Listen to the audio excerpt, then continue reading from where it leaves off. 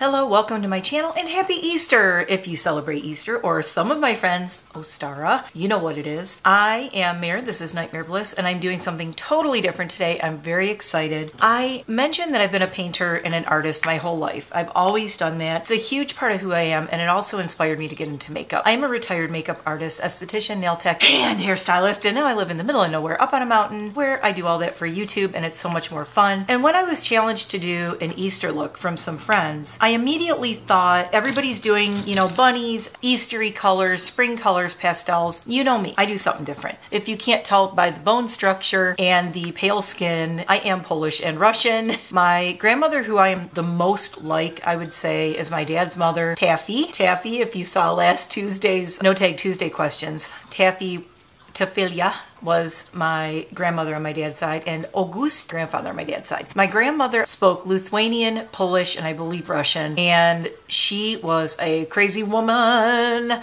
I'm sure that's where I get my wackadoodness from, and all my a lot of my cooking skills they come from my grandmother's. Especially her. She would have me in her kitchen as a toddler. She would put me up on a booster, and she was making borscht and all these crazy recipes that, as a toddler, you're like beet soup, duck's blood soup. uh, oh my God. Nothing I was interested in. She was still an awesome person and she was an avid gardener. Her entire backyard looked like the Garden of Eden. It was like my happy place as a child and what influenced me as a gardener. Being artistic in my family, my grandmothers knew about, most people know them as Ukrainian eggs or pisanki, P Y S A N K Y. That's what I'm going to talk about today. This is what influenced my Easter design for today.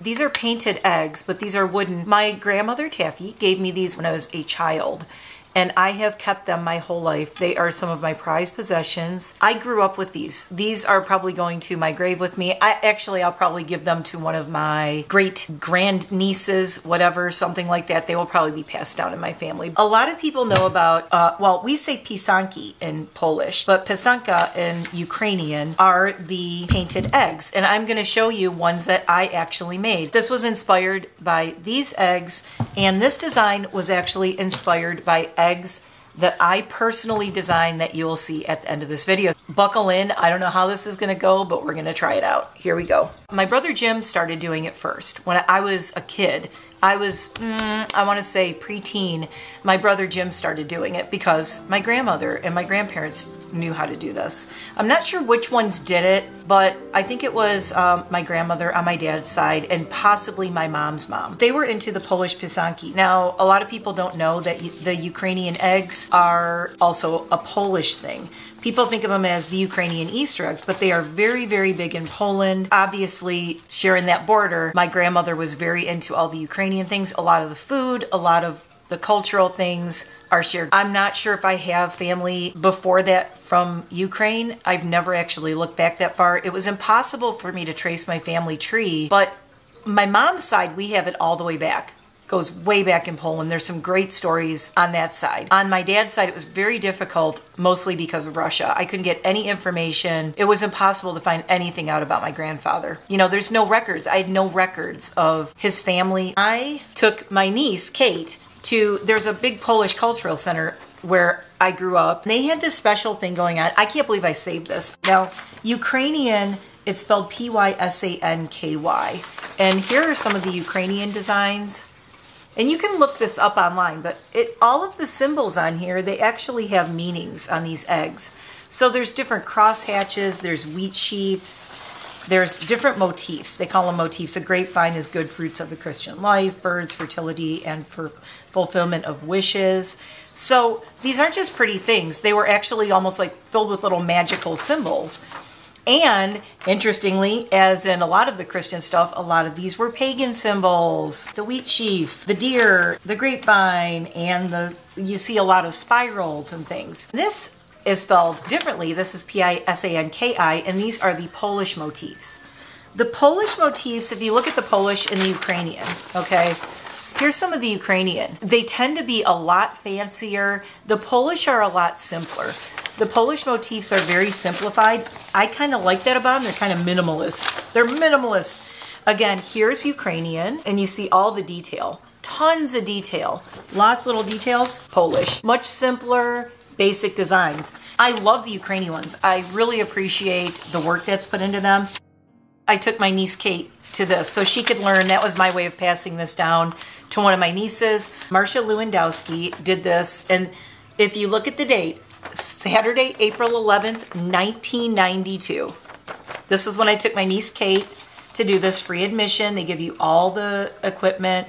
I'm not going to tell you how to make these in this video. That's not what this is about. This is what inspired my Easter makeup look because I grew up with these and I wanted to do something Easter that was really me. We went to this workshop though, and I do have the eggs that I made in that workshop. I'm going to show you later. I have a whole plate of pisanki that I've actually made myself many of them from the 1990s. There's a couple from the 19 late 1980s. My brother started making them as like a, a, teen, early 20s. That's when I started making them, and then I introduced them to my niece Kate, and she started making them. These are Marcia Lewandowski compiled these who did the class. Each of these designs comes from a different region of Poland. I'm sure that the ones that are more intense are. I haven't researched this. They're probably closer to Ukraine. These are all from different areas. So we have. I wish my Polish speaking family was still here, but it's K R Z C Z O N O W, Lublin. And Podlaski is P O D L A S I E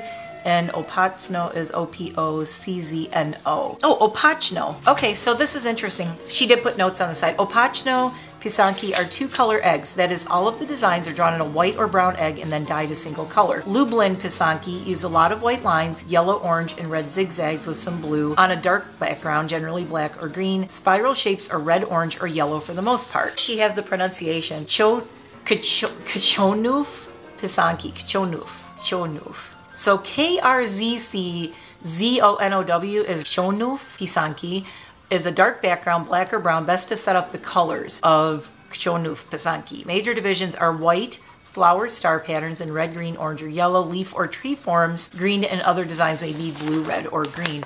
So they're very specific to the regions. So even on these small ones that we have, it says, you know, the last step is melt off the wax to reveal six, a six color egg from the region of Lublin. It is a very, very intensive thing to do, but it's so fun and it's it takes a long time. I spent a lot of time making these, but I absolutely love them.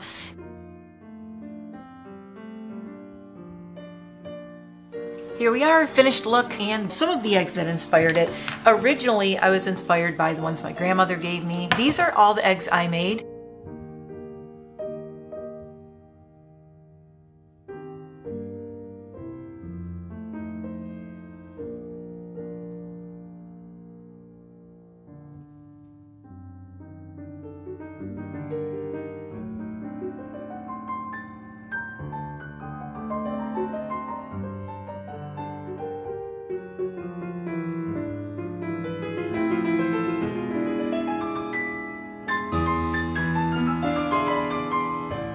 The three in the middle, those are the ones that I did in 1992 in my class. This one right here is probably the oldest one I have. I did this one in, um, oh, when did I do this guy?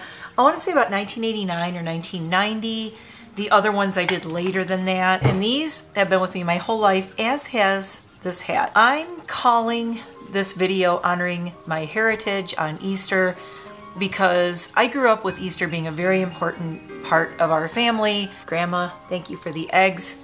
And this, this is my grandmother's hat. Yes, Grandma Taffy. This was one of her crazy hats. In case you're wondering where I get the crazy hat thing from, I love this because this is kind of honoring me being a little gothy, a little spooky with the eye look, and bringing Ukrainian and Polish eggs into it. I am looking a little crazy. Too bad everything's closed today. I would go out wearing this look.